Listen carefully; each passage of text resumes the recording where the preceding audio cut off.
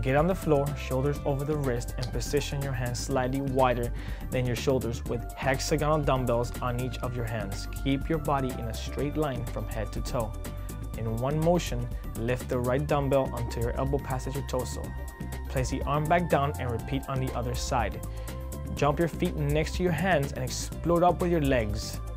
Repeat. Two sets, 8 to 10 repetitions.